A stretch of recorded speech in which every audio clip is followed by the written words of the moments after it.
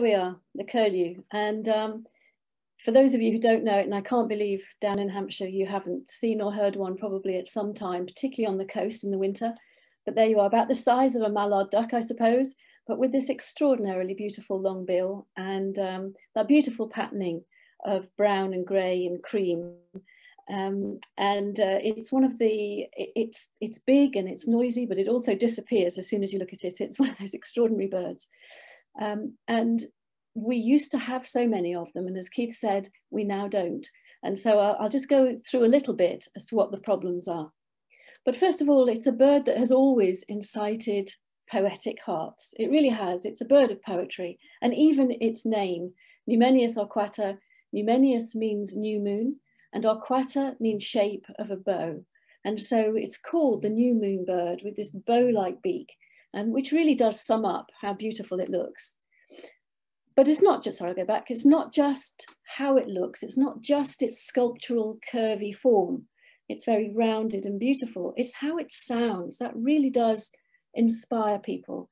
So just for a minute, I'd like you just to sort of let this call of the curlew take you to places where it, it, where your soul wants to go in a way. So let the sound of the curlew uh, sort of ignite all those feelings we get when we hear this extraordinary call that it has.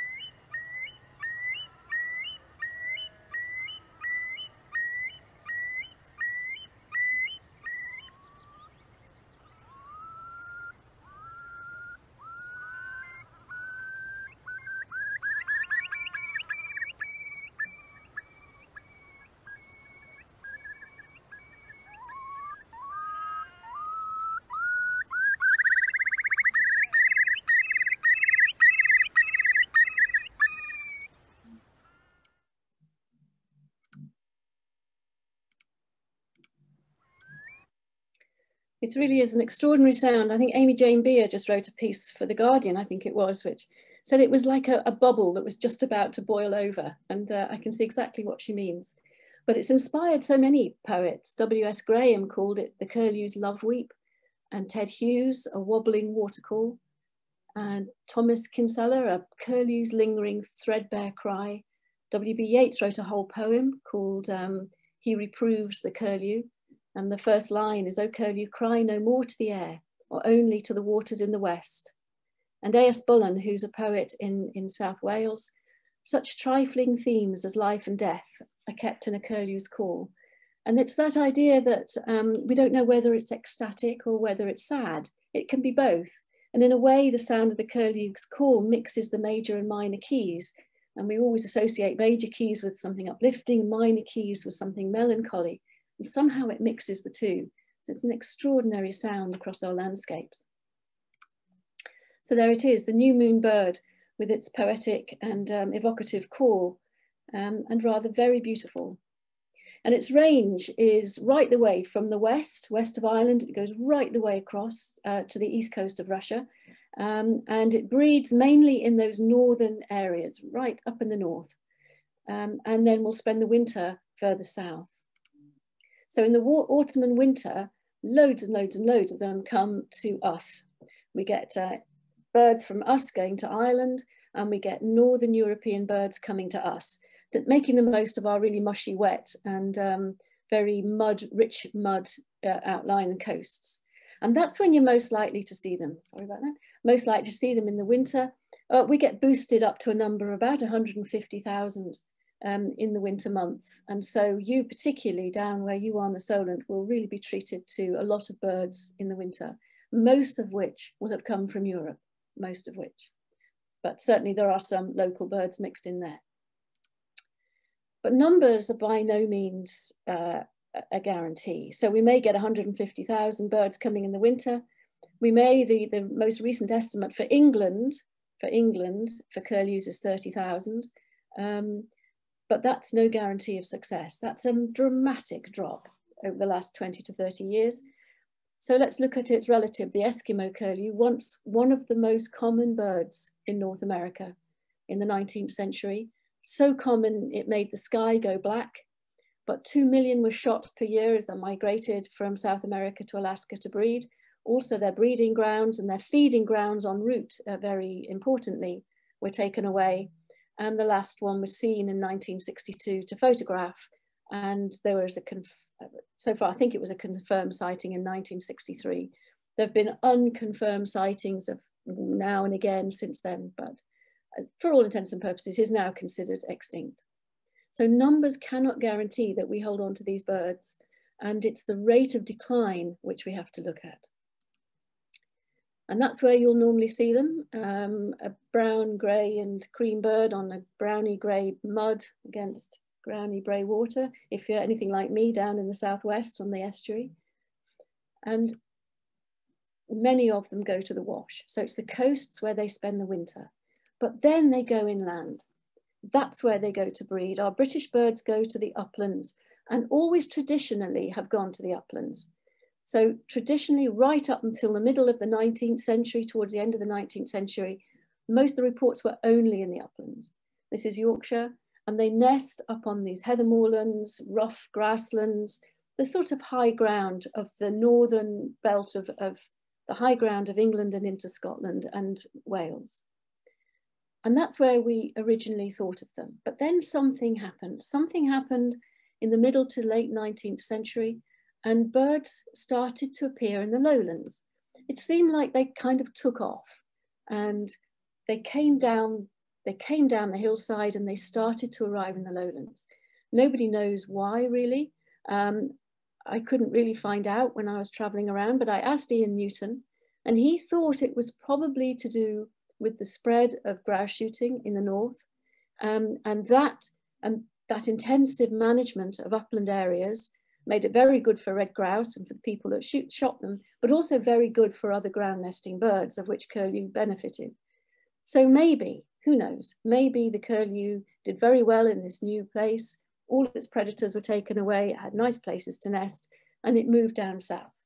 That's one theory, but as I stress, nobody actually knows.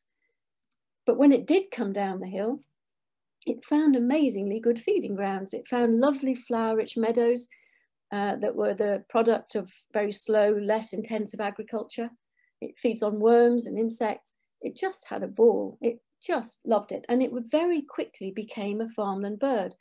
And it's amazing how quickly we've, had, we've adopted it and we've welcomed it into the sort of farmland bird coterie of animals. We just think it's always been there. It actually hasn't in the lowlands, as far as we know, for that long. John Clare never wrote about them. Um, and so it makes me think they probably weren't breeding in Northamptonshire when he was there. Um, and there aren't any breeding records in Norfolk till 1942. But come downhill it did, and it has stayed, and it had a great time, and it settled in very quickly. And then we changed the goalposts.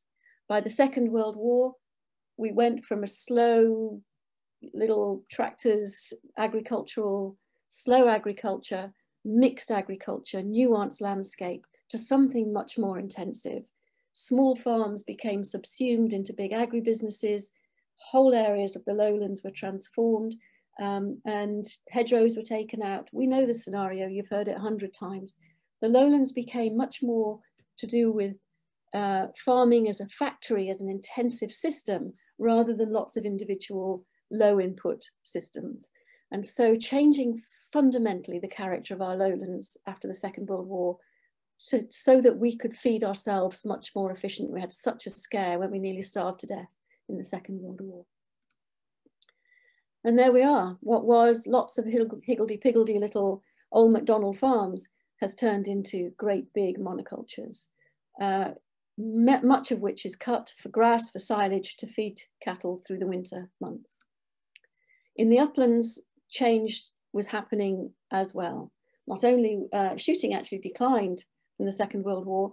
But what has changed is um, lots and lots of forestry. Sitka spruce plantations were put right the way through the uplands. Uh, a lot of the land drained and planted up. So the birds, and it's not just curlews, many other species as well, lost that upland habitat. Along with our intensive agricultural systems, uh, we have in, seen quite a dramatic increase in these very clever and adaptable uh, um, generalist predators, foxes and crows in particular, and badgers since stopping their persecution have done really, really well. And we have the densest population of crows, second densest population of, badger, of, of foxes in Europe.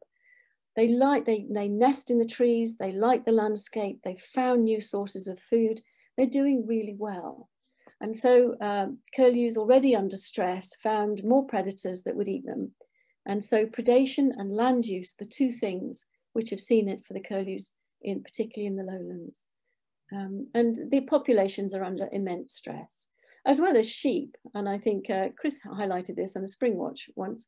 The sheep have been filmed uh, coming along and they actually push curlews off their nest and eat the eggs, which is a really interesting piece of sheep behavior, probably looking for the calcium, I should think and is surprisingly more common than people thought. And it's only since nest cameras have been going up have we seen this happening more and more. So the poor, poor old curlew, even with its long stabby bill, couldn't stop this sheep uh, from eating its eggs. Um, this is uh, Shropshire. They looked at what was the cause of the nest failure um, at, at, the egg stage. And you can see foxes, uh, half of it really, with sheep doing quite quite a lot. And they don't just eat it; they also trample on the nests if we can't keep them away. Some crows, some badger, and other things. Uh, that's at the egg stage. Once the eggs hatch, if they hatch, if they hatch, not only do they face predation, but they can also get run over by tractors. So they are sort of battling against many 21st century problems, I think. So this is BTO data. We've lost half of our breeding curlews in 20 years. That's 119,000 birds a year. That's about five and a half, sorry, 119,000 birds, five and a half thousand a year. And in 2015, the, uh, a paper came out in British Birds saying that the Eurasian curlew could be considered the most pressing bird conservation priority in the UK. And coming out, I think in June, British Birds is running the follow-up five years after that publication. Six years after that publication, where are we now? So that will be coming out very soon. But you can see from the BTO graph just how serious you can see from the map the losses. Look, just look at what's happening in Ireland, just look at Wales, just look at the uplands. And uh, the, the hidden story is the, um, is the sort of the area, if you can imagine where Birmingham is and draw a line south of that in England, the catastrophic losses that have been going on there. So relative breeding abundance changes between 1988 and 2008. Just let that sink in. That is quite dramatic to see that.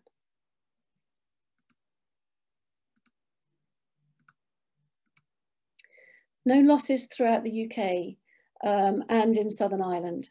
So uh, Keith mentioned earlier that Southern Ireland in the 1980s was known to have at least, and I say at least, 5,000 breeding pairs. That was only in the 1980s. The last count was 135. 5,000 to 135 since the 1980s. Northern Ireland has gone down. They are, they're lucky enough to have the RSPB looking after them in Northern Ireland in very constrained kind of environments on islands and reserves that the RSPB look after. So they're faring slightly better. So the whole of Southern Ireland has 135, the whole of Northern Ireland has probably around 200. Um, Wales, probably no more now than 400 breeding pairs. And talking to Natural Resources Wales, I was told the other day that they expect, now hold on to your hats for this, expect curlew to be extinct as a breeding bird in Wales within 10 years if present declines continue. It's almost too hard to say. And southern England, we've seen, as I said, this dramatic decline. We think now there's around about 400 breeding pairs. If you draw that line from right across Birmingham and go south of that, about 400 pairs, which still leaves the uplands as the stronghold for curlews. But their range, their range is very important. And the range right down into southern England um, is under tremendous stress. So there we are. Poor old curlew is not doing well. And lots of people say, and, and I, I, get a lot of messages onto well, I don't see that, that what's a problem. Every year I see them, there's lots around, I can hear them calling. But curlews live a long time. They can live to 32 years, the oldest one that's been found, um, probably commonly into their 20s. So they're going to keep coming back and they're going to keep trying to breed. Uh, they're just not getting any chicks away. So they are long-lived birds. Adult survival is excellent, 90%. Once they've passed two years, they, they survive really, really well. It's the productivity which is the problem. So after the British Bird Survey in 2015, uh, their paper, I decided I would try to find out what was going on with them. So I set off to go and start a 500 mile walk from the west coast of Ireland, through Ireland, through Wales, through England, and try to get to the heart of what was happening. It was so hard to understand what was going on at that point. And I decided the first day of my walk would be April the 21st. And I chose that because it's, it's put down as the average laying date in spring for curlews. So that was quite a good day. But also it's the feast day of this rather handsome little chap in a boat here from this painting. Um, this is um, the very well known, I'm sure you all know he is, St. Beuno. And St. Beuno is a sixth century abbot from west of Wales, who was quite famous for spreading Christianity throughout Wales. And he was sailing off the coast of Wales, legend tells us, and he dropped his book of sermons into the sea. And legend says that a curlew flew out from the shore, picked up his prayer book and took it to the shore to dry. And Beuno was so grateful, he blessed the curlew and said, may you be forever protected.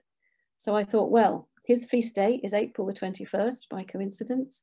So time to ask St. Beuno for a bit of a refresh on that blessing. So that's why I chose April the 21st as the first day of the walk. And that was the route I took. Um, started off really in Northern Ireland, where one of the, the strongholds still is, an RSPB reserve there. Uh, went down to the south, walked through the centre of Ireland, and then hopped over and did a little wiggle, but ended up on the east coast of, of England about six, seven weeks later. In Ireland, that horrific crash in numbers became very obvious as you walk through Central Ireland. One of the things that was very obvious to me at the time was walking through what was once extensive raised bog, um, bog that it's not the blanket bog that you get on hillsides mainly. This is a naturally occurring accretion of dead matter and these big wet bogs in the centre of Ireland. And centre of Ireland used to be one, basically one big raised bog.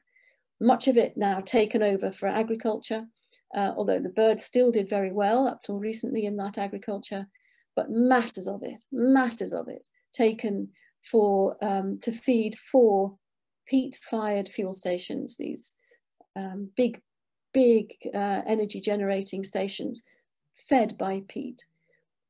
Bord na Móna, which owns those fire those stations, have said now they're stopping uh, using peat, but you know, 99% of the raised bog has gone. The agriculture in Ireland was right up until the 1970s, very slow paced, as we said before. It was one of the last places to sort of switch to becoming more intensive, but more intensive it did from the 1970s um, with the Common Agricultural Policy and then with the Celtic Tiger. And it's really transformed the centre of Ireland. And dairy now, dairy industry is just massive in Ireland. But wherever I went, wherever I walked, it was silage cutting to feed the dairy industry and the meat industry, silage cut from as, as early as late April, early May onwards, often four or five times a year in some places, massive ag, ag, afforestation of places, which is only set to increase, uh, huge amounts of drainage of once wet boggy lands, which curlews, lapwings, all sorts of other birds like. And of course, the spraying of insecticide and pesticide and so on, which can affect their feeding. So the curlew walk, as I ended up calling it, uplands, lowlands, intensive farmland, um, the heart of England, the coastlines, and ended up in East Anglia. And I really did felt I began to get a handle on what was happening to these birds and why it was such a dramatic decline. So straight away, I organised four national curlew conferences. Top left in Ireland was the first one. I got back in about June 2016. By November, we'd organised the first national island conference. Then there was the Southern England one down held at Slimbridge, then a Welsh one, bottom right, and then a Scottish one uh, just in 2019. And I started World Curlew Day um, on April the 21st. And World Curlew Day is now entering its fourth year and um, loads of good things starting to happen. Um, and it gives people a nice focus. For those of us who don't live near curlews and feel we can't do much to help, and I'm one of those, um, Curlew Day gives you a focus to, that you can do some fundraising or give a talk or whatever you like to do. Um, but it's a really important day to remember our curlew and other curlews around the world because Numenius is a, a group under serious pressure everywhere. Prince Charles also decided that he liked curlews. Well, he decided he does love curlews. And he held two of his own symposia, one on a, in a hotel in Dartmoor, uh, and then he followed up later with one in Highgrove last year. And out of the back of that, he urged a group of organizations to get together. So it wasn't me that started the Curlew Recovery Partnership. It was actually something that came out of the Curlew, Highgrove Curlew Summit. Um, and nine organizations now sit around uh, a table as the steering group of the Curlew Recovery Partnership. And the Curlew Recovery Partnership, the steering group is literally just the central hub and is spreading out its net, network much, much wider. It only started a month ago, so we're just getting ourselves together. And um, I happened to be chair. I refused to apply for chair. Then I was persuaded to apply for it. I then withdrew my application for chair. And when we had the meeting to appoint the chair, by the end of that meeting, I was chair. So there seemed to be no escape from that one. But so far, it's a very interesting experience and it's going to be a very challenging experience. But um, good people sitting around the table determined to do what it takes, uh, hopefully. So there we are, the Curlew Recovery Partnership is the latest DEFRA funded um, organisation. We also had meetings in Downing Street uh, where we brought together politicians and conservation and scientists to try to hammer out what we could do about policy as well. So there we are, the Curlew Recovery, excuse me, partnership with all those organisations.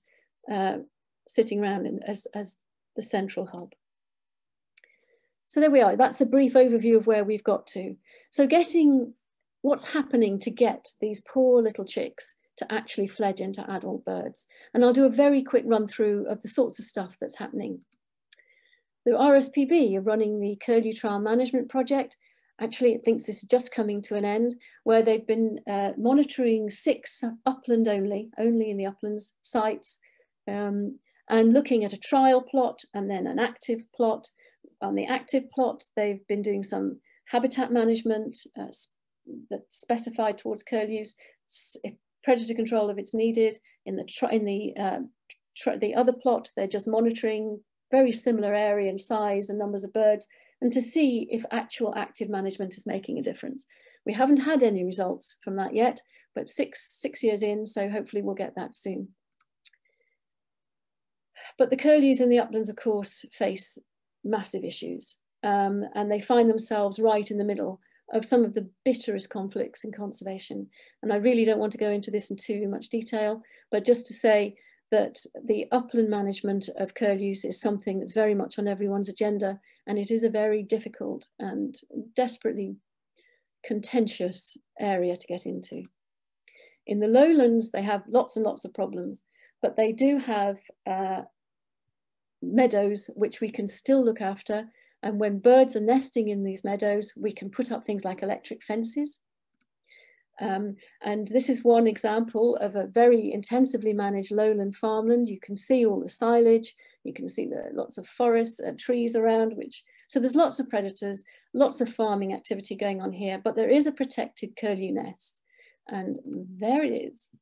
It's got an electric fence around it and a curlew's nesting in the middle of it. But to show you how bad that is, so this bird was protected. It, it hatched out four lovely chicks and within two weeks, every single one of them had been killed. So once they, they hatch, they go outside of the, the, of the electric fence and then they just really don't get much of a chance to survive. trying to get a handle on why they're not surviving, increasing number of nest cameras are being, being put up. You can't do any management until you know what the problem is. There's no point just going out and doing all sorts of things, including controlling predators, unless you know it's a problem. This is really ethical issue as well as, as everything else. So we have to know what's happening. So the more data we get, the better. And the data is starting to come in. So uh, Nest cameras are really, really helpful. And if they show crows and foxes to be a problem, then predator management is carried out in some sites. But absolutely stress, it is only done if we know there's a problem, if it's and it's targeted and it's small scale and it's localized. That's the way it is. Otherwise, we lose them. But that's uh, that is that is the bald reality of conservation in Britain today, and it is a very difficult thing to talk about. It's a very painful thing to talk about. It's very uncomfortable, and it's um, an issue which I think we all have to be much more open about. There's a, there's a general impression among people who don't know much about conservation because they don't work in it, completely understandable that conservation is, is very sort of warm and fuzzy. It, it isn't, a lot of it, it really isn't. Other ways to find, uh, understand what's happening to the birds is tagging them. Uh, Rachel Taylor from the BTO is doing wonderful work, trying to get us to understand how the birds are using the landscape in the breeding season, something we knew nothing about until this work was undertaken in 2016. And she is showing us just how far they travel. So they're just not going to their nest sites. Even when they're nesting, they're traveling long distances, 10 kilometers away, feeding. And this is a bit of a worry because we may be double counting, we may be over counting the birds because we think the birds are coming back to nest in one area and they're bubbling away with that beautiful call. And then they're suddenly 10 kilometers away, bubbling again. And people think, ah, and that's a breeding bird. We don't know yet, but we may be overcounting. So getting a handle on these birds, these birds which, which use landscapes, not just individual places, they use, they use whole landscapes all year round, is going to be really difficult. So we can protect the nest site, but if their, their favorite feeding spot is not protected it's being mown or drained or fertilized or whatever, lots and lots of stocking density on it, they're not going to be able to survive. So it's a very challenging bird. And one of the reasons I love them, but also uh, I'm so fascinated by them, is that they do concentrate so many of these huge issues 21st century Britain faces. This is a bird that, uh, just to make the point, it was tracked over 48 hours. So there, the big cluster of, of on the top left is where its nest site was. So when the, the non-sitting bird was feeding all around the nest really, but at night, the non-feeding bird went three kilometers away and nested by a little, a little uh, tarn here. And uh, some, and, in, and I know the ones, the New Forest can go 10 kilometers. They'll go from the New Forest Myres and fly out to the coast at night. It's fascinating.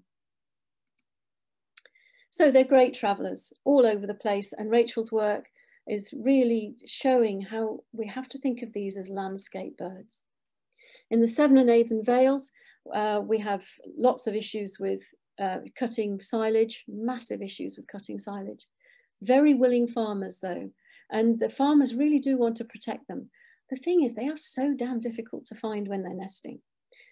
We also have a big issue in lots, and you do in the New Forest as well, of course, with lots and lots of recreation. And uh, I'll come on to that in a minute with the New Forest work. But in the Severn and Avon Vales, we've put signs up, please don't let your dogs run through these areas of meadows when there's nesting birds in there. But also we're trying to find the nests with drones. When I say we, it's proverbial we, it's not me doing all this, obviously, but the groups um, in the southern part of England. So these drones, putting thermal cameras on them, flying them over and to see if we can spot curlew nest. Done at night, um, doesn't disturb the birds, and um, it works. These were four, four nests that we knew existed in this great big meadow in southern, in, in the Severn and Avon Vales. We flew a, a drone over and lo and behold, it detected the nests. So it's a really promising tool and a lot more of this is going to be tried this year. We had a bit of a hiatus last year because of all the, you know, the restrictions. But this year we hope to do a lot more and see if drone will help us. Onto the New Forest, 120 pairs you had in the 90s. Now you've only got 40. Um, and the biggest problems for the curlews in the New Forest by far is predation and recreational disturbance. Don't have the silage cutting, of course, farming problems that, that have elsewhere. So most have four eggs and most fail within hours being laid. Um, signs going up to try to keep uh, dogs on leads uh, in areas where the birds are nesting. Massive issue with that. And when you put signs up, it does help. And a lot of people do take notice. And I just think we need more of it and we need more education and we need more people explaining. Um, you know, I've got a dog. I love taking my dog for walks in these lovely places where you go there because you like being there and the dogs like being there. But we have to, we live in a crowded world now and there are a lot of dogs. And we have to have a big conversation about how we look after dogs when there's nesting birds. The New Forest have also been doing great work with thermal uh, loggers. They put these in the nests and they track the temperature of the nest. And um, some really interesting results have come out of it. Other places do it as well. So this is a nest that's been successful. So once you put um, the, the um, temperature logger in and the bird sits, you can see that the day and night pattern of cold and warm starts to settle down. It's basically very level pattern. Um, the birds just, it's constantly warm in the nest. Then when they hatch, um, the birds get off the nest and you can see that the temperature logger goes back to day and night temperatures again. So that's a successful nest. This is an unsuccessful nest. It's being disturbed. We don't know what's disturbing it, but we do know that in the, in the, the, the night hours when it's not in daylight, so sometime evening, early morning, in the night, it's off the nest, it's being disturbed, it's getting back on, it's getting off again, and then it uh, is predated. And probably at this time, if it's at this time in the morning, it might be a fox, but we don't know. We, we don't know. But it does give an indication of when predation is happening. And the more data we get like this, the better. So getting these little chicks to survive is not an easy task in modern Britain. They face massive issues they face some of the biggest issues conservation has to come up against in the 21st century. So one of the things that we're doing, and this is actually uh, something that I suggested two or three years ago and is now just about to come to fruition. It's an online Curlew Field Workers Toolkit. This is just a, an example of, uh, this is very much work in progress, so please don't, don't worry about what this is, just to give you an example. But you'll be able to go online and you'll be able to download information, fact sheets, advice, the best advice possible, the best science out there from people who work in the field. If you just want to understand what calls you're hearing and what they mean, or if you want to get more stuck into the more technical side of field work and you're in a group, this will hopefully help. WWT work with me um, and now it's almost ready and it will go online um, on the Curlew Recovery Partnership website um, on April the 21st. It won't be complete, but it's we're getting there. We're getting there.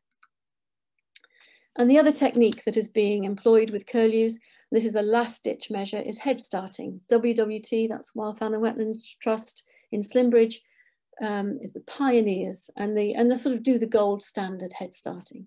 And for those of you who don't know the term, eggs are taken out of the wild, they're raised in captivity, and they are hatched out in incubators and then put into special pens where they're raised to fledging and then they are released into the wild. And the eggs that we got were taken off airfields. So the, the top left there is somebody collecting eggs off an airfield.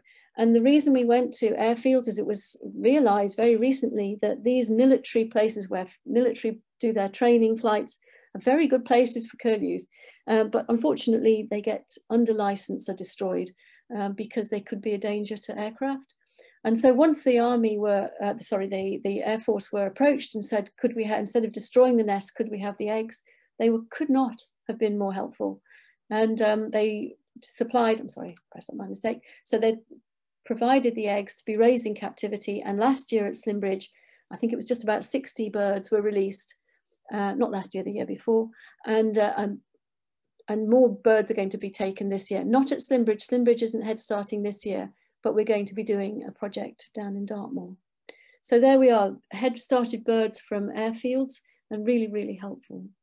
Dartmoor has been chosen as the place to do some release this year because, let me give you a couple of gobsmacking statistics. Um, Dartmoor now used to have lots of curlews, you could imagine, an upland area, heathery, moorlandy, um, and was quite a hot spot. It has one breeding pair left, just one.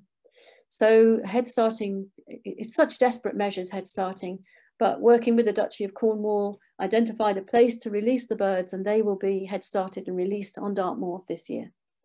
Um, other places could well do with it. There's five breeding pairs left in North Wiltshire, down from 19 pairs in this little patch of North Wiltshire. Um, got five pairs left, and as far as we know, no breeding birds. Uh, in Rutland, they've produced one chick in 12 years. Um, in Dartmoor, actually three chicks in 20 years. So you begin to see the scale of the problem. I had the, the, the uh, bird report in from North Shropshire just last week. Out of a hundred, a hundred curlew nests in this large area of North Shropshire, only one nest produced chicks. So there's the breeding birds, head starting, providing a bit of a ray of hope. Uh, and hopefully more head starting will be done. But I will stress this is not a silver bullet. It is a last ditch attempt to hold on to birds in very stressed environments. You can only do it if you're putting the habitat uh, back. You'll only be able to release these birds if they're going back into places where they have a fighting chance of surviving. Because it's immoral, it's unethical to release them into areas where they're not going to have any chance of surviving. But so far from the Slimbridge released birds last year, um, it's looking good. 30% have been resighted, and that's about what you'd expect uh, from wild birds. So Slimbridge uh, from two years ago is beginning to look like it has succeeded, but we won't know more until later. There are the Slimbridge birds just about to be released out. And there they are. I just took a little bit of footage from a hide. Uh, there's a couple trying their wings out for the first time out there in the background, and one thinking, ooh, it's a bit muddy around here pouring with rain, but all those birds did eventually take off. And it was lovely to see them.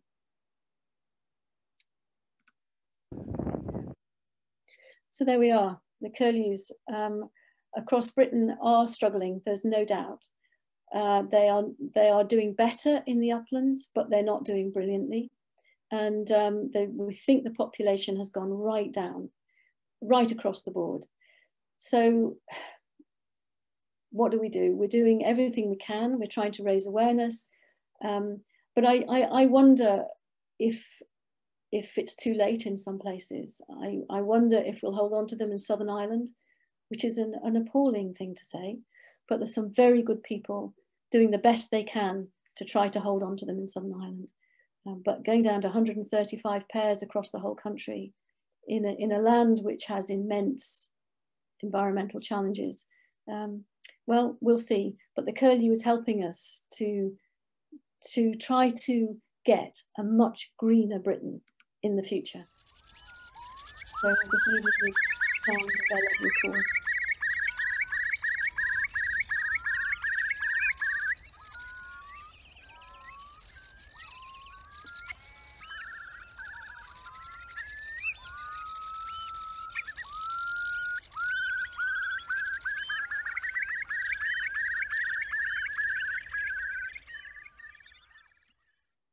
Thank you very much.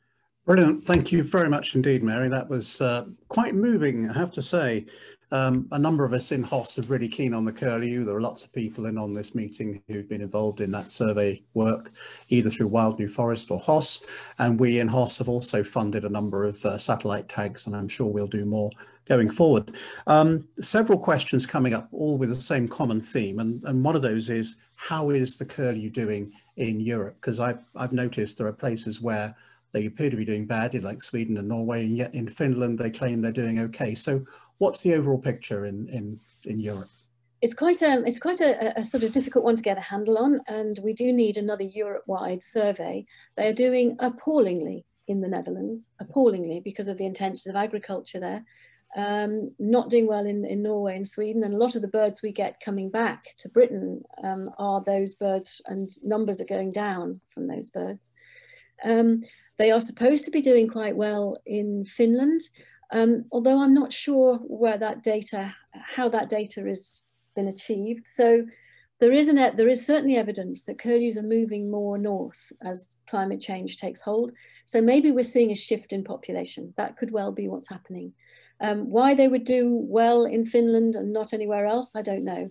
But everywhere across Europe, apart from Finland uh, and maybe some parts of these of the steppes of Russia, maybe, um, but things are going down.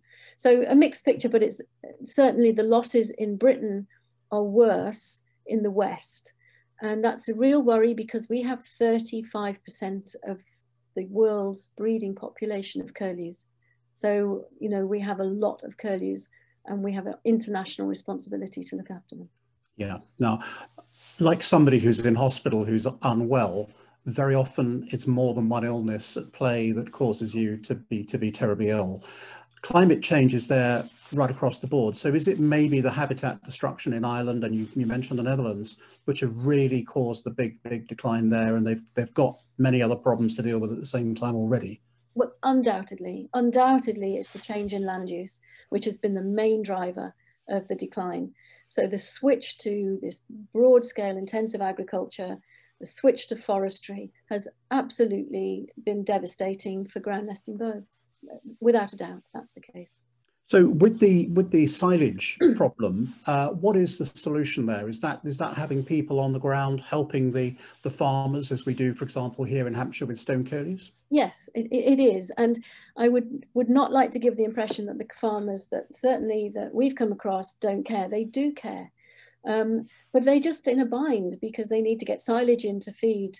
The increasing the dairy and, and uh, meat production is increasing. We are demanding more milk more dairy products, more meat. It's a real rise in it. And so we have to feed these animals through the winter. So the, the farmers have to feed their livestock. And so what do we do? I was in a meeting in uh, Wiltshire and uh, the, the farmers there, that silage is a big problem there.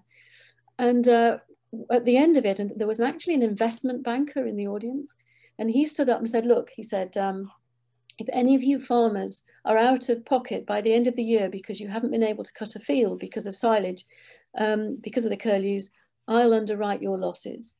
And actually, the farmer then stood up and said, actually, that's kind of you, but it's not your money we need, it's your silage. And so we have to find a way of getting the feed to the farmers. Compensation may work in some places, but maybe there's a way of of, of distributing silage around the country. So if there's overproduction in one area where there aren't, there's not a big problem with ground nesting birds, maybe that can be redistributed. But all this is being looked at for the new ELMS, environmental land management schemes that are taking place. So the agri-environment schemes um, uh, weren't working, the European ones weren't working, they were too broad scale, not nuanced enough. So we do have a chance to be a lot more targeted um, if we want to in, in the next few decades. The increase in predators in some areas obviously will have had an impact, but is there definitely evidence showing that the declines uh, are linked with an increase in predators, or is it because in some areas presumably predators haven't increased? I wondered if the failure to succeed is as bad there, or you know, is it increasing? I think with with everything, it's it's it's so hard when you talk about this because people get very emotional about it, and I do as well it isn't just, it's nuanced. You can't say it's all predators, it's all land use. It, it varies, and those two, those two things vary in importance depending where you are in the country. So in some places, and actually uh, uh Severn and Avon Vales is one, I don't think predation is a big, big issue at all, actually. It's much more to do with land use. Right. In other areas, in North Shropshire, I mentioned 100 nests and only one fledged. Undoubtedly, that is predators because there was no agricultural activity. They went too early. The, the nests were destroyed before any activity took place. Now, the other thing is that, that that area of North Shropshire is very near to very intensive pheasant shooting areas. And so if you're releasing 50 million game birds into the, into the countryside, is that keeping numbers of predators high? The science hasn't been done to definitively show that.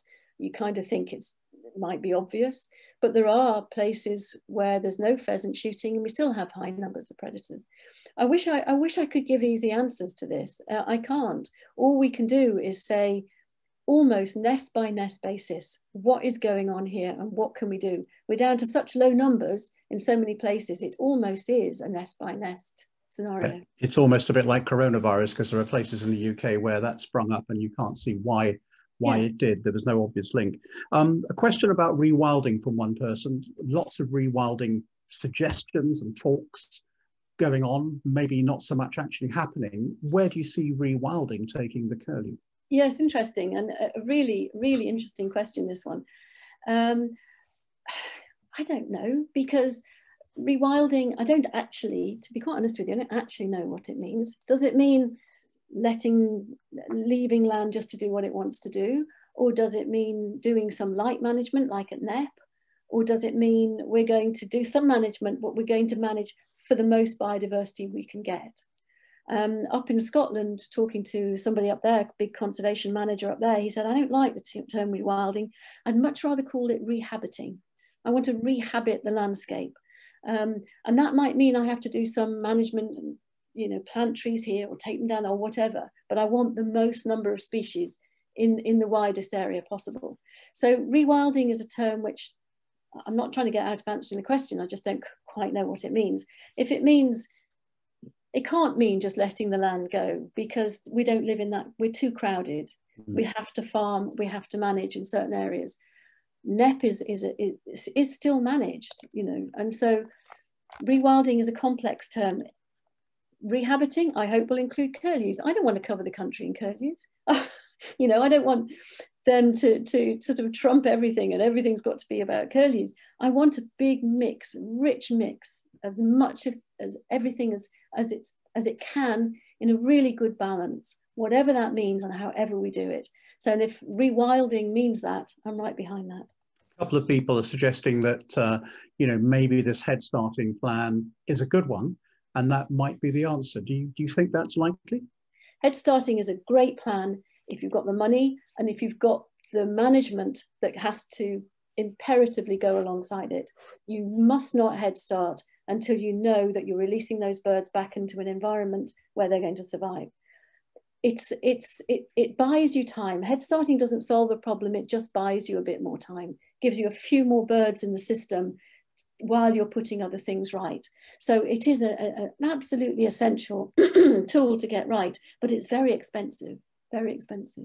Quite a few comments coming in about the situation in the new forest in particular dogs and signs going up. Um, clearly the organizations who run the new forest are trying uh, and signs have gone up in the last couple of weeks or so.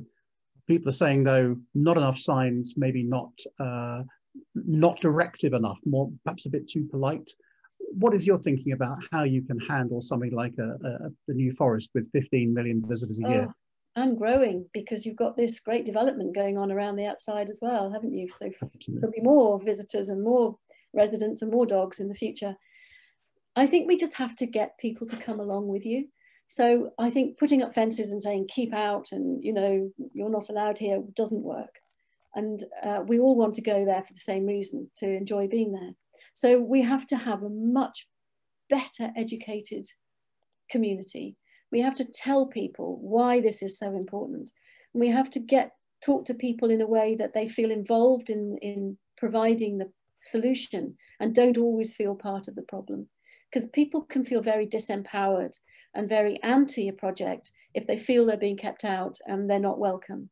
So I would much rather go. I, could, I agree, some signs could be, I'm sure, could be a lot more targeted, but let people feel they're contributing rather than keeping people out. Well, it's been a fantastic talk. Thank you so much for that. We've been looking forward to. We were really looking forward to it last year and we didn't get it. And now we've got it. For those of you who haven't bought Mary's book, she's very conveniently helped me by putting it on the screen there. Curlew Moon is a very nice read. It's a, uh, it's a wonderful journey with her over that uh, the 500 miles around it. It's almost like you're with there all the way. So uh, thank you very much indeed for sharing your thoughts and good luck with what you're doing going forward. Thank you very much for having me.